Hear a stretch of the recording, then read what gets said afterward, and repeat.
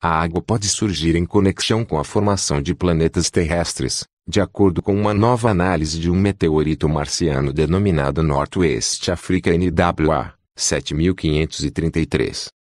Uma impressão artística do jovem Marte. Crédito da imagem, M. Cormercerezo N. Risinger, schizurvey.org. Uma impressão artística do jovem Marte. Crédito da imagem, M. Cormercerezo N. Risinger, schizurvey.org. Existem duas hipóteses sobre o surgimento da água, disse o professor Martim Betzarro, pesquisador do Centro de Formação de Estrelas e Planetas da Universidade de Copenhagen. Uma é que chega aos planetas por acidente, quando asteroides contendo água colidem com o planeta em questão. A outra hipótese é que a água surge em conexão com a formação do planeta. Nosso estudo sugere que essa hipótese está correta e, se for verdade, é extremamente emocionante, pois significa que a presença de água é um produto do processo de formação do planeta. Se a teoria da equipe estiver correta, a vida em sistemas planetários pode ter tido melhores chances de se desenvolver do que se supunha anteriormente. A pesquisa mostra que houve água em Marte durante os primeiros 90 milhões de anos de existência do planeta. Em tempo astronômico, isso se passa muito antes de asteroides ricos em água bombardearem os planetas do sistema solar interno como a Terra e Marte, de acordo com a primeira hipótese. E isso é muito sensacional, disse o Dr. Bitzarro. Isso sugere que a água surgiu com a formação de Marte. E nos diz que a água pode ocorrer naturalmente nos planetas e não requer uma fonte externa como asteroides ricos em água. O meteorito marciano NWA 7533 com 4,43 bilhões de anos. Crédito da imagem, meteorites.tv. O meteorito marciano NWA 7533 com 4,43 bilhões de anos. Crédito da imagem, meteorites.tv.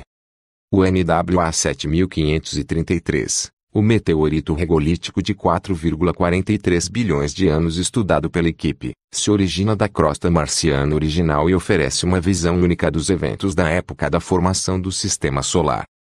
Desenvolvemos uma nova técnica que nos diz que Marte em sua infância sofreu um ou mais impactos severos de asteroides, disse o autor principal Dr. Zhang Binden pesquisador da Université de Paris.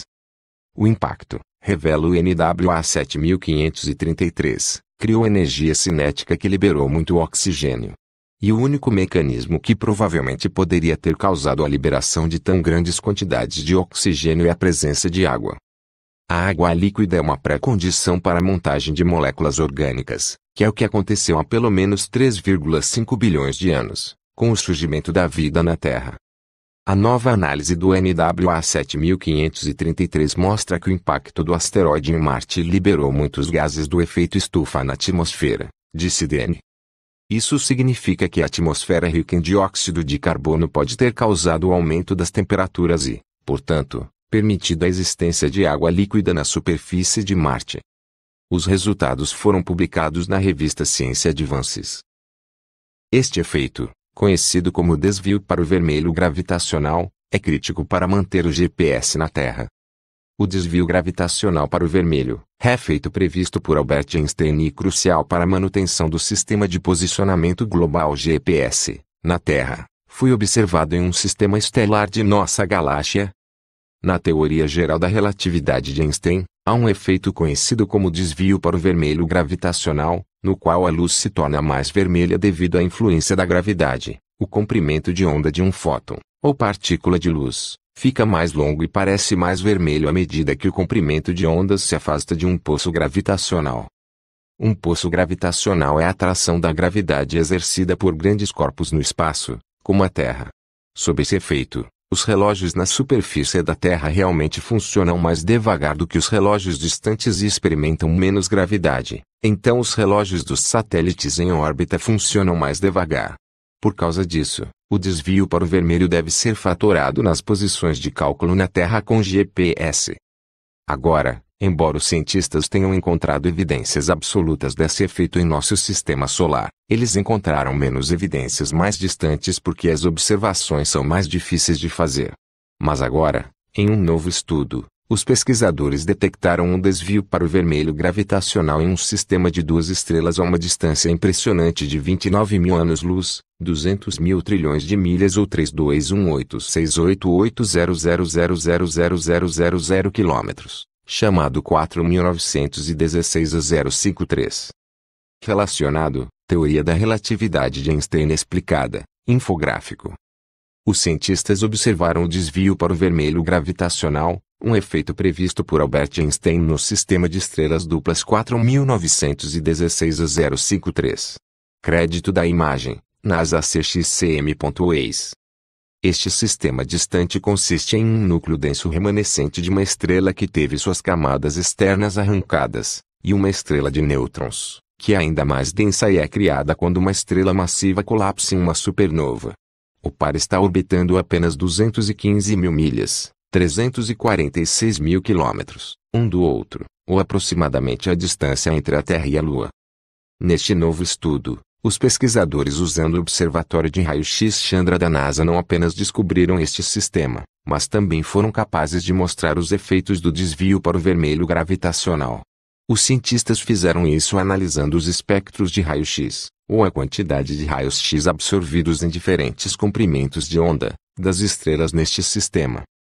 Esta não é apenas uma descoberta importante porque está fora do nosso sistema solar, mas é a primeira evidência forte desse efeito em um sistema de duas estrelas que teve uma estrela de nêutrons ou um buraco negro, de acordo com um comunicado do Chandra Observatório de Raio-X. Os cientistas ganharam mais tempo com o Chandra no próximo ano para estudar o sistema com mais detalhes, segundo o comunicado. Este trabalho foi aceito para publicação no Astrophysical Journal Letter. Uma versão do artigo foi carregada no servidor de pré-impressão archive.org em 3 de agosto. O chamado desvio gravitacional para o vermelho afeta a tecnologia que possui, como sistemas de posicionamento de GPS. Refeito da teoria da relatividade de Einstein registrado pelo Observatório Chandra 29 mil anos-luz da Terra. Os discos de acreção muito pequenos em binários ultracompactos de raio-x são laboratórios especiais para estudar a acreção e os fluxos de saída do disco. Crédito: cxcm.eis cxcm.eis. Existe um efeito na teoria geral da relatividade de Einstein chamado desvio gravitacional para o vermelho, redshift gravitacional em inglês, em que a luz muda de cor para um tom avermelhado devido à gravidade. Esse fenômeno foi observado por astrônomos, através do Observatório de Raios X Chandra da NASA, em duas estrelas que se orbitam entre si na nossa galáxia, a cerca de 29 mil anos-luz de distância da Terra. A NASA explica que, apesar destas estrelas estar a uma grande distância do planeta, estas ondas gravitacionais avermelhadas têm impacto tangível na tecnologia atual, que devem ser considerados pelos engenheiros e cientistas na calibração dos sistemas de posicionamento do GPS, por exemplo. Este fenômeno já foi encontrado no nosso sistema solar, mas tem sido um desafio observá-lo em áreas mais distantes no espaço. Por isso, uma NASA saliente que os dados registrados pelo Chandra provas convincentes do impacto dessas ondas numa nova configuração cósmica. Explicando a constituição das duas estrelas, num sistema chamado 4916 a 053, uma delas é o núcleo de uma estrela apresentando camadas exteriores foram arrancadas, deixando-a muito mais densa que o nosso Sol. A outra é uma estrela de neutrões, um objeto ainda mais denso, criado quando uma estrela massiva colapsa durante uma explosão de uma supernova. Na imagem ilustrativa partilhada pela NASA, vemos a estrela de neutrões a cinzento no centro do disco de gás quente a ser puxado do seu companheiro, a estrela branca da esquerda. Créditos: CXCM.ex título igual TQ Redshift gravitacional. Estas duas estrelas estão a cerca de 346 mil quilômetros de distância entre si, mais ou menos a uma distância entre a Terra e a Lua, referenciada pela NASA. A estrela mais densa gira em torno do astro de neutrões, fazendo uma órbita completa em apenas 50 minutos. No blog da NASA é explicado tecnicamente ao pormenor como é que o fenômeno afeta os sistemas de GPS, e como se encaixa na teoria de Einstein. No entanto, os cientistas vão estudar com mais detalhes este sistema durante o próximo ano. Pesquisadores conseguiram, pela primeira vez, detectar o desvio gravitacional para o vermelho em um sistema de estrelas distante. Este efeito foi previsto por Albert Einstein e já foi observado no sistema solar, sendo um conceito importante para o funcionamento do Sistema de Posicionamento Global, GPS, na Terra, mas ainda não havia sido confirmado em regiões mais afastadas. Na teoria da relatividade geral de Einstein, o desvio gravitacional para o vermelho é o efeito que a luz sofre por influência da gravidade, tornando-se mais vermelha à medida que se afasta de um grande objeto cósmico. Quanto mais massivo esse objeto for, mais influência gravitacional ela exerce, e quando o fóton, partícula da luz, se afasta, seu comprimento de onda da luz fica mais longo e, portanto, parece ter uma coloração vermelha. Sistema binário 41916 a 053 Ilustração do sistema binário 41916 a 053 Ao lado dos dados de comprimento de onda detectados, imagem, reprodução barra NASA barra CXC barra M.Ways. Poucas foram as evidências encontradas em lugares mais distantes do sistema solar para determinar que este efeito é universal. Entretanto, um novo estudo mostra como uma equipe de pesquisadores detectou um desvio gravitacional para o vermelho em um sistema de duas estrelas a uma distância de 29 mil anos-luz.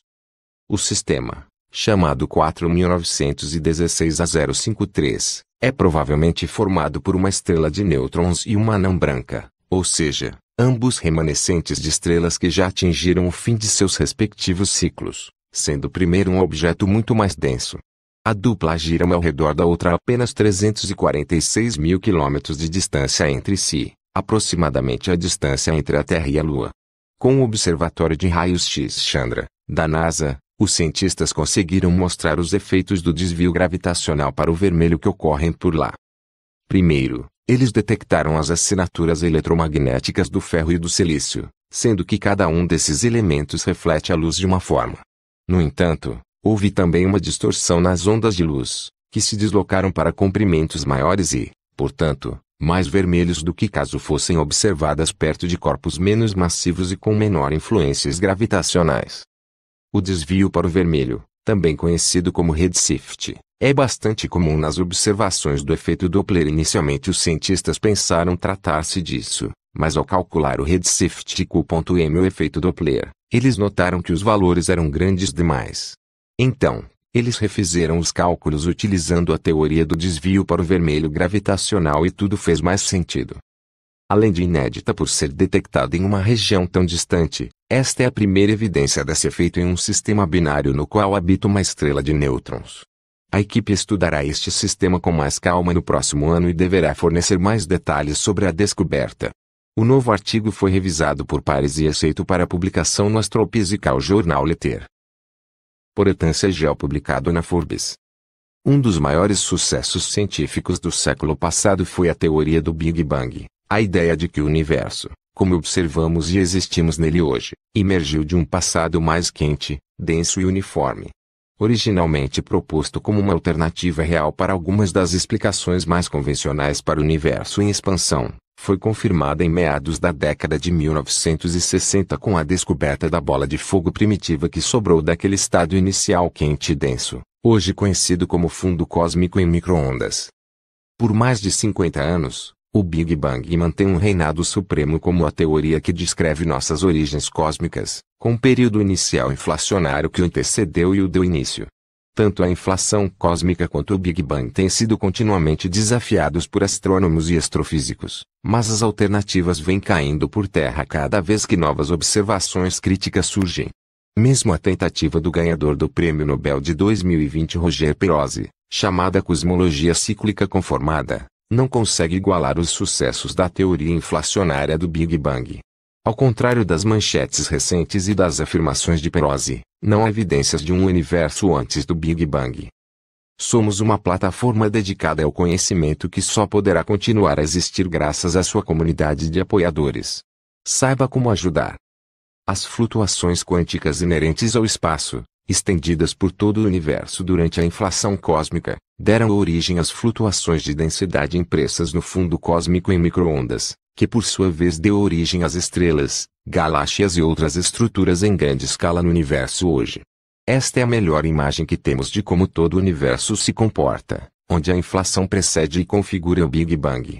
Na imagem, o processo mostra a inflação, inflation, depois de uma fração em um segundo, fraction ou fascicond, a última dispersão do fundo cósmico em microondas, CMB last scattering, com o sinal da densidade de flutuação, density fluctuation signal, e o sinal da polarização, polarization signal, depois de 380,000 anos, years, as primeiras estrelas, first stars, depois de mais ou menos 200 milhões de anos, e os dias de hoje, presente day, depois de 13,8 bilhões de anos. Créditos, e sejam, com imagens da ESA, Missão Planck em colaboração com o Departamento de Energia do Z.U.A. NASA NESF. O Big Bang é comumente apresentado como se fosse o início de tudo, espaço, tempo e origem da matéria e energia. De um certo ponto de vista arcaico, isso faz sentido. Se o universo que vemos está se expandindo e ficando menos denso hoje, isso significa que era menor e mais denso no passado. Se radiação, como fótons, estiver presente naquele universo, o comprimento de onda dessa radiação se estenderá conforme o universo se expande, o que significa que ele esfria com o passar do tempo e que era mais quente no passado. Em algum ponto, se você extrapolar os limites do tempo suficiente, você chegará a densidades, temperaturas e energias que são tão grandes que você criará as condições para uma singularidade. Se suas escalas de distância forem muito pequenas, suas escalas de tempo muito curtas ou suas escalas de energia forem muito altas, as leis da física deixam de fazer sentido. Se corrermos o relógio cerca de 13,8 bilhões de anos para trás em direção ao mítica marco zero, essas leis da física perdem a validade em um tempo de 10 menos 43 segundos, o tempo de Planck. Uma história visual do universo em expansão incluindo o estado quente denso conhecido como Big Bang e o crescimento e formação de toda a estrutura subsequentemente. O conjunto completo de dados, incluindo as observações dos elementos leves e da radiação cósmica de fundo, nos deixa apenas com o Big Bang como uma explicação válida para tudo o que observamos. À medida que o universo se expande, ele também se esfria, permitindo que íons, átomos neutros e, eventualmente, moléculas, nuvens de gás, estrelas e, por último, galáxias se formem. Na imagem, a escala de tempo é representada em nanosegundos de um segundo, nanosec. O sec, segundos, sec, e anos, years. Os eventos mostrados, da esquerda para a direita, são possível formação de partículas massivas de interação fraca, WIMPs formed, nêutrons e prótons formados do plasma de quarks e gluons, formação do núcleo atômico, recombinação, formação dos átomos, formação das primeiras estrelas, a luz delas libera alguns elétrons dos átomos, formação das galáxias, reaquecimento do gás intergaláctico, formação dos aglomerados de galáxias, créditos, NASA/CXC/MWAYS. Se esta fosse uma descrição precisa do universo, que começou quente e denso e depois se expandiu e esfriou, se espera que um grande número de transições ocorreram em nossa história passada. Todas as partículas e antipartículas possíveis teriam sido criadas em grandes números, com excesso sendo aniquilado e transformado em radiação quando o universo se esfria demais para a criação delas continuarem. As simetrias eletrofraque de Higgs se quebram quando o universo esfria abaixo da energia na qual essas simetrias são restabelecidas, criando quatro forças fundamentais e partículas fundamentais com massas de repouso diferentes de zero. Quarks e gluons se condensam para formar partículas compostas como prótons e nêutrons. Os neutrinos param de interagir de forma eficiente com as partículas que sobraram. Prótons e nêutrons se fundem para formar os núcleos leves, deutério, hélio 3, hélio 4 e lítio 7. A gravitação atua para aumentar as regiões superdensas, enquanto a pressão da radiação atua para expandi-las quando ficam muito densas criando um conjunto de impressões oscilatórias e dependentes de escala. E aproximadamente 380 mil anos após o Big Bang, o universo torna-se frio o suficiente para formar átomos neutros estáveis sem que eles sejam instantaneamente destruídos. Quando este último estágio ocorre, os fótons que permeiam o universo, e antes se espalhavam dos elétrons livres, simplesmente viajam em linha reta, alongando-se em comprimento de onda e diluindo-se em grande número à medida que o universo se expande. No universo quente inicial, antes da formação dos átomos neutros, os fótons se espalham dos elétrons, e em menor grau, dos prótons, em uma taxa muito alta, transferindo o momento quando fazem. Depois que os átomos neutros se formam, Devido ao resfriamento do universo abaixo de um certo limiar crítico, os fótons simplesmente viajam em linha reta, afetados apenas no comprimento de onda pela expansão do espaço. A imagem mostra o espalhamento de Thomson, Thomson Scattering, ao longo do tempo. Time. Créditos, Amanda Io. Cerca de 55 anos atrás, esta radiação cósmica de fundo foi detectada pela primeira vez, levando o Big Bang de uma das poucas opções viáveis para a origem do nosso universo para a única consistente com os dados. Enquanto a maioria dos astrônomos e astrofísicos imediatamente aceitou o Big Bang, os maiores proponentes da teoria alternativa do estado estacionário, pessoas como Freire, surgiram progressivamente com argumentos cada vez mais absurdos para defender sua ideia desacreditada em face de dados esmagadores. Mas cada ideia falhou bonito. O que foi observado pode ter sido a luz fraca das estrelas. Nem luz refletida, nem poeira que foi aquecida e irradiada. Toda e qualquer explicação tentada foi refutada pelos dados. O espectro desse brilho posterior cósmico era um corpo negro muito perfeito, muito igual em todas as direções, e muito não correlacionado com a matéria no universo para se alinhar com essas explicações alternativas. Enquanto a ciência avançava para o Big Bang tornando-se parte do consenso, ou seja, um ponto de partida sensato para o futuro da ciência, Oile e seus aliados ideológicos trabalharam para conter o progresso da ciência, defendendo alternativas cientificamente insustentáveis. A luz real do Sol, curva amarela, na esquerda, em comparação com um corpo negro perfeito, em cinza, mostrando que o Sol é mais do que uma série de corpos negros devido à espessura de sua fotosfera. À direita está o corpo negro perfeito real do fundo cósmico em microondas, medido pelo satélite COBE. Observe que as barras de erro dos dados do instrumento da NASA chamado FIRAS, à direita tem surpreendentes 400 sigma. A concordância entre a teoria e a observação aqui é histórica, e o pico do espectro observado determina a temperatura restante do fundo cósmico em microondas, 2,73 K. Créditos, usuário do Wikimedia Commons SCH, esquerda, Kobe, Firas, NASA, JPL Caltech, direita. No final das contas, a ciência avançou enquanto os que eram contrários à teoria se tornavam cada vez mais irrelevantes, com seus trabalhos trivialmente incorretos caindo na obscuridade e seu programa de pesquisa finalmente deixado de lado após a morte deles. Nesse meio tempo, da década de 1960 até a década de 2000, as ciências da astronomia e astrofísica, e particularmente o subcampo da cosmologia, que se concentra na história, crescimento, evolução e destino do universo, se desenvolveram de forma espetacular. Mapeamos a estrutura em grande escala do universo, descobrindo uma grande teia cósmica. Descobrimos como as galáxias cresceram e evoluíram e como suas populações estelares mudaram com o tempo. Aprendemos que todas as formas conhecidas de matéria e energia no universo eram insuficientes para explicar tudo o que observamos. Alguma forma de matéria escura e alguma forma de energia escura seriam necessárias para tal. E fomos capazes de verificar ainda mais as previsões adicionais do Big Bang, como a abundância prevista dos elementos leves, a presença de uma população de neutrinos primordiais e a descoberta de imperfeições de densidade exatamente do tipo necessário para crescer até a grande estrutura em escala do universo que observamos hoje. O universo não se expande apenas uniformemente, mas possui pequenas imperfeições de densidade dentro dele, o que permite formar estrelas, galáxias e aglomerados de galáxias com o passar do tempo. Adicionar densidade não homogênea em cima de um fundo homogêneo é o ponto de partida para entender como o universo é hoje. Créditos: EMUF, equipe do SDSS e a equipe do Telescópio do Polo Sul, gráfico de Josiah Rostomian.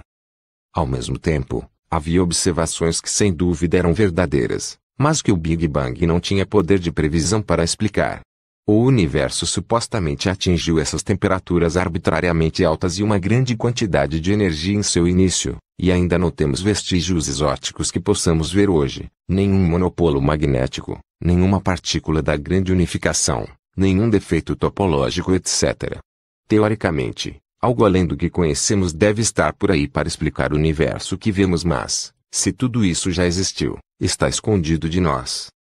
O universo, para existir com as propriedades que vemos, deve ter nascido com uma taxa de expansão muito específica, uma que equilibrasse exatamente a densidade total de energia, para mais de 50 dígitos significativos.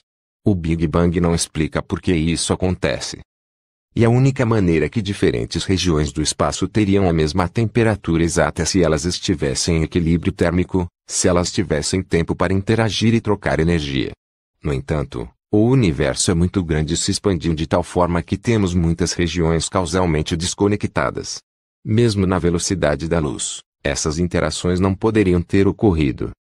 O brilho restante do Big Bang, o fundo cósmico em microondas, não é uniforme, mas tem pequenas imperfeições e flutuações de temperatura na escala de algumas centenas de microkelvin. Embora isso desempenhe um grande papel em épocas tardias, após o crescimento gravitacional, é importante lembrar que o universo inicial, e o universo em grande escala hoje, é não uniforme em um nível inferior a 0,01%. A missão Planck detectou e mediu essas flutuações com melhor precisão do que nunca. Créditos, ESA, colaboração da missão Planck. Isso representa um enorme desafio para a cosmologia e para a ciência em geral. Na ciência, quando vemos alguns fenômenos que nossas teorias não conseguem explicar, temos duas opções. Podemos tentar conceber um mecanismo teórico para explicar esses fenômenos, ao mesmo tempo mantendo todos os sucessos da teoria anterior e fazendo novas previsões que são distintas das previsões da teoria anterior. Ou podemos simplesmente assumir que não há explicação, e o universo simplesmente nasceu com as propriedades necessárias para formar o universo que observamos. Apenas a primeira abordagem tem valor científico e, portanto, é ela que deve ser tentada, mesmo que não dê frutos. O mecanismo teórico de maior sucesso para estender o Big Bang foi a inflação cósmica, que estabelece uma fase antes do Big Bang em que o universo se expandiu de forma exponencial, esticando-o, dando-lhe as mesmas propriedades em todos os lugares, combinando a taxa de expansão com a densidade de energia, eliminando quaisquer vestígios de alta energia anteriores e fazendo a nova previsão de flutuações quânticas, levando a um tipo específico de densidade e flutuações de temperatura, sobrepostas sobre um universo uniforme. No painel superior, nosso universo moderno tem as mesmas propriedades, incluindo temperatura, em todos os lugares porque são originários de uma região com as mesmas propriedades. No painel do meio, o espaço que poderia ter qualquer curvatura arbitrária é inflado a ponto de não podermos observar nenhuma curvatura hoje, resolvendo o problema da planicidade. E no painel inferior, vestígios de alta energia pré-existentes são infladas, fornecendo uma solução para o problema dos vestígios de alta energia. É assim que a inflação resolve os três grandes quebra-cabeças que o Big Bang não consegue explicar sozinho. Créditos, e sejam, Beyond Galaxy. Embora a inflação, como o Big Bang antes dela, tem um grande número de cientistas que a deprecia. Ela é bem sucedida onde todas as alternativas falham. Ela resolve o problema do Gracefuzit em português, saída elegante, onde um universo em expansão exponencial pode fazer a transição para um universo cheio de matéria e radiação que se expande de uma forma que corresponde às nossas observações, o que significa que pode reproduzir todos os sucessos do Big Bang quente. Ela impõe um corte de energia, eliminando quaisquer vestígios de energia ultra alta. Ela cria um universo uniforme em um grau extremamente alto, onde a taxa de expansão e a densidade total de energia combinam perfeitamente.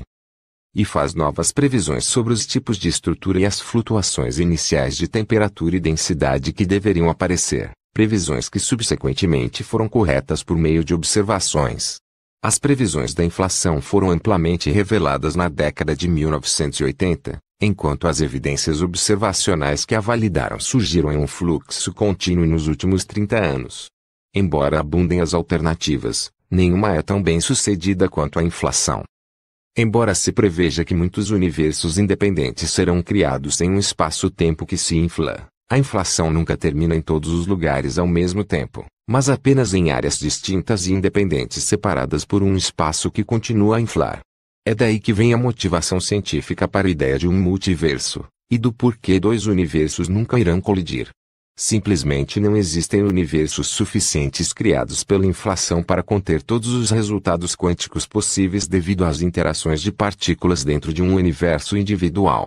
Créditos, Karen 46/Free Imagens. Infelizmente, o vencedor do Prêmio Nobel Roger Penrose, embora seu trabalho sobre relatividade geral, buracos negros e singularidades nas décadas de 1960 e 1970 fosse absolutamente digno do Nobel, gastou uma grande quantidade de seus esforços nos últimos anos em uma cruzada para tentar refutar a inflação, promovendo uma alternativa cientificamente inferior, sua ideia favorita chamada cosmologia cíclica conforme, ou CCC. A maior diferença preditiva é que a CCC praticamente requer que uma impressão de universo antes do Big Bang apareça tanto na estrutura em grande escala do universo quanto na radiação cósmica de fundo, o brilho remanescente do Big Bang. Ao contrário, a inflação exige que qualquer lugar onde a inflação termina e surja um novo Big Bang quente deve ser causalmente desconectado de, e não pode interagir com, qualquer região anterior, atual ou futura. Nosso universo existe com propriedades que são independentes umas das outras. As observações, primeiro do Kobe do MAP e, mais recentemente, da Planck, colocam definitivamente restrições enormemente rígidas, aos limites dos dados que existem, em quaisquer dessas estruturas. Não há hematomas em nosso universo, sem padrões repetidos, sem círculos concêntricos de flutuações irregulares, sem pontos ao King, quando se analisa os dados de maneira adequada, fica extremamente claro que a inflação é consistente com os dados, e a CCC claramente não é. Por aproximadamente 10 anos, Roger Penrose tem divulgado afirmações extremamente duvidosas de que o universo exibe evidências de uma variedade de características que são consistentes com o nosso universo colidindo e sendo machucado por tudo o que ocorreu antes do Big Bang. Esses recursos não são robustos e são insuficientes para fornecer suporte para as afirmações de Perose. Créditos, VG Guardadia R. Perose, Archive 1302.5162. Embora, assim como ele, Perose não esteja sozinho em suas afirmações, os dados são totalmente opostos ao que ele afirma. As previsões que ele fez são refutadas pelos dados, e suas afirmações de ver esses efeitos só são reproduzíveis se alguém analisar os dados de uma forma cientificamente incorreta e legítima. Centenas de cientistas apontaram isso para Perose, repetidamente e consistentemente por um período de mais de 10 anos, que continua a ignorar o próprio campo e ir em frente com suas afirmações. Como muitos antes dele, ele parece ter se apaixonado tanto por suas próprias ideias que não olha mais para a realidade para testá-las com a responsabilidade. No entanto, esses testes existem, os dados críticos estão disponíveis publicamente. Penrose não está apenas errado, é trivialmente fácil demonstrar que os recursos que ele afirma que deveriam estar presentes no universo não existem. Ou ele pode não ter ganhado o prêmio Nobel, apesar de suas contribuições valiosas para a nucleossíntese estelar, por causa de suas posturas não científicas ao longo de sua vida. Embora Perose agora tenha um Nobel, ele sucumbiu à mesma armadilha lamentável. Embora devamos elogiar a criatividade de Perose e celebrar seu trabalho inovador e digno do Nobel, devemos nos proteger contra o impulso de divinizar qualquer grande cientista, ou trabalho que eles realizam quando não é sustentando pelos dados. No final das contas, independente de celebridade ou fama, Cabe ao próprio universo discernir para nós o que é real e o que é apenas uma hipótese infundada, e para nós seguirmos a orientação do universo, independentemente de onde ele nos leve. Eu espero que você gostou do vídeo. Deixe seu like e se inscreva-se ao nosso canal e ativar o sininho das notificações. Tchau. Lançado em 2018, o Telescópio Espacial Transiting Exoplanet Survey Satellite, TEIS, da NASA, já permitiu a descoberta de diversos exoplanetas. Agora, mais dois mundos foram acrescentados a essa lista. Em um estudo recente, uma equipe de astrônomos liderada por William C. Da University of Colorado Boulder, descreve a descoberta de dois exoplanetas orbitando estrelas anãs vermelhas, do tipo M. Exoplaneta potencialmente habitável tem sua atmosfera e clima investigados. Exoplaneta 4,2 anos-luz pode ser mais parecido com a Terra do que imaginamos descoberto exoplaneta parecido com a Terra em meio a dados antigos do Kepler. Os autores pontuam que as estrelas anãs do tipo M são o tipo de estrela mais numeroso e, além de frias, são pequenas, de modo que os planetas que as orbitam têm períodos mais curtos e maiores probabilidades de trânsito do que teriam em estrelas maiores. Assim, a descoberta ocorre em meio a um estudo que vem sendo realizado com o TES, no qual as 200 mil estrelas mais brilhantes próximas ao Sol são analisadas em busca de exoplanetas em trânsito. Até o momento, foram identificados 2.200 candidatos a exoplanetas. Deste total, 67 já foram confirmados. Assim, Em 2018, o telescópio observou as estrelas TOI 122 e TOI 237, e foram detectados sinais de trânsito nas curvas de luz delas. Planetas confirmados pelo TES. O gráfico representa os exoplanetas já confirmados e objetos de interesse do TES, os TOIs, imagem, reprodução, Wilkes et al., 2020. Os exoplanetas descobertos receberam os nomes de TOI 122b e TOI 237b. O TOI 122b é um subnetuno, ou seja, tem mais massa do que Netuno e raio menor, que equivale a 2,72 do raio da Terra. Este planeta é 8,8 vezes mais massivo que a Terra e orbita uma anã a cada 5,08 dias a uma distância de 0,04 unidades astronômicas, que é a distância entre a Terra e o Sol. O planeta tem temperatura de equilíbrio aproximada de 157 graus Celsius, enquanto a da estrela chega a 3.126 graus Celsius. Sua atmosfera provavelmente é densa e, devido ao período orbital, ele está no interior da zona habitável da estrela. Já o TOI 237b se encontra a 124 anos-luz do Sul e, devido a seu tamanho, é considerado uma superterra, já que chega a ser 44% maior e três vezes mais massivo que nosso planeta. Sua temperatura de equilíbrio é da cerca de 81 graus Celsius, e o planeta orbita a estrela anã a cada 5,44 dias.